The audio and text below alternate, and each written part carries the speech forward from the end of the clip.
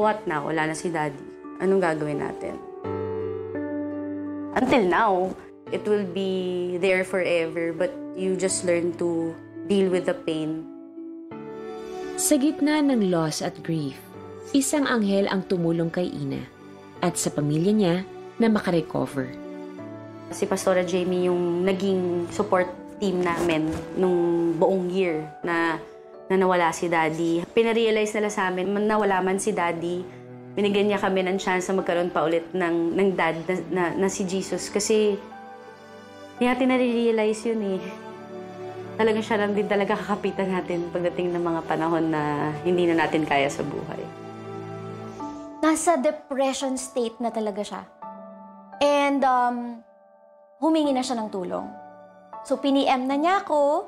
And then, sabi ko, I just listened to her. And then, sabi niya, gusto kong tulungan yung pamilya ko. Hirap na kami and we need help. And with that, I started praying for her. Tapos, nag-start kami ng isang life group sa bahay nila. And nandito na sila ngayon. Paano kita mapasasalamatan, Pastora Jamie? Bibigay ko po sa iyo tong letter na to na babasahin ko po para sa inyo. Pastora, I just want to say thank you for being there, guiding and protecting us. We are super grateful for you and the whole Santiago family. Salamat kasi hindi nyo kami sinusukuhan at lalong pinapalakas ang kapit kay God. I pray for more blessings uh, to you, upon you and your family, and continue being a blessing to other people. God bless you more. We love you, Pastora.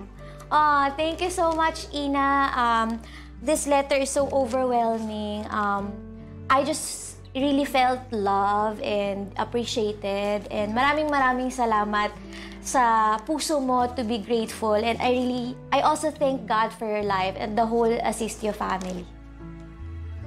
Sabi nga nila, the way to honor loved ones who passed is to continue living. At yun ang ginawa ni Ina. Ngayon, bukod sa pag-aartista, isa na rin siyang successful diamond specialist. I'm happy where I am right now sa um, achieving my goals. Lahat tayo may kanya-kanyang struggles. Lahat tayo may kanya-kanyang pinagdadaanan na hindi natin ma-share sa world or mismo ma-deal. Pero ang akin lang, kailangan natin maging strong. It's a struggle when it comes to the mental and emotional health talaga. So, kailangan magpalakas talaga tayo. Si Ina, parang isang diamond na dumaan sa matinding pressure at pain.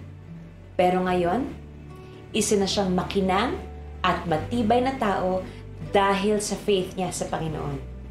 Katulad ng kwento ni Pastora Jimmy na minsan din dumaan sa panghuhusga at bullying.